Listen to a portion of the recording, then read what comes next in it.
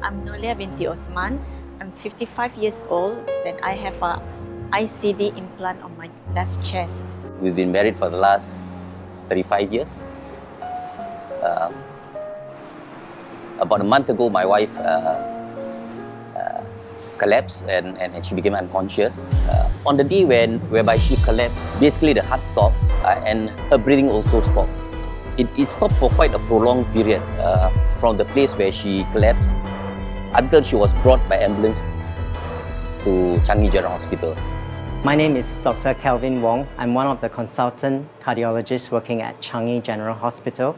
I'm an electrophysiologist who specializes in heart rhythm problems. The patient Nolia had a sudden cardiac arrest.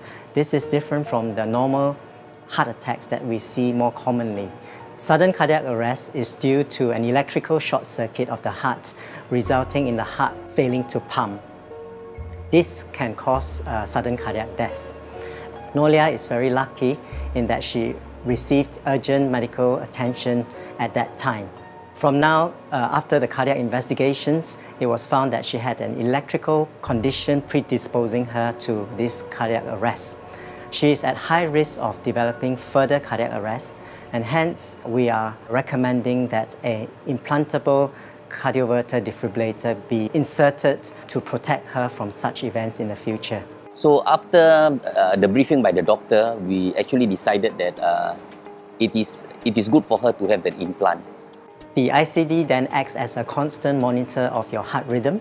If it detects fast heart rate, then it is able to administer treatment, including a shock which could potentially save lives.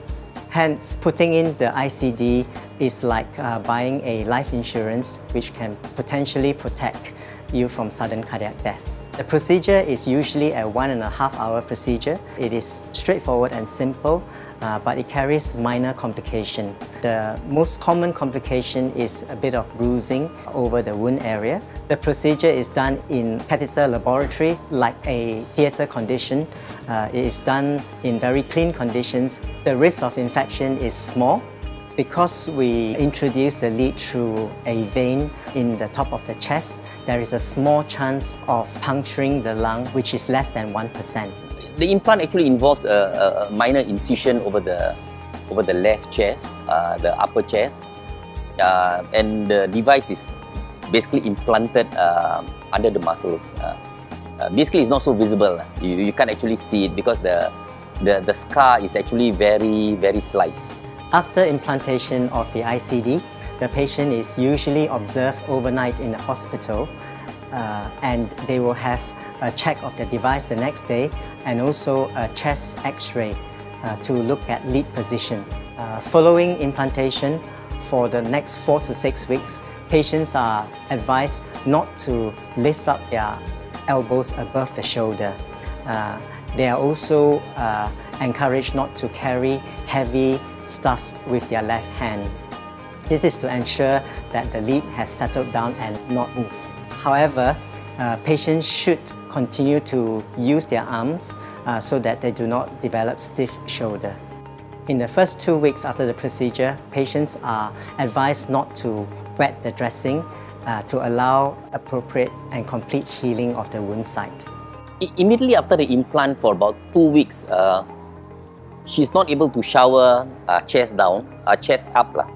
Uh, basically because of the the wound. Uh, this to prevent any infection. Uh, she's also not uh, advised not to raise her hand beyond her shoulder level. Following that, if all is well, they are discharged uh, to be followed up in a week to two weeks' time to review their wound after that, uh, in about a month's time, they will have check of their device once again to ensure proper functioning of the device. Subsequently, the patient will be monitored once every six months uh, to check on their device function and the battery life. In general, this battery will last about seven years. It doesn't affect her, her lifestyle very much.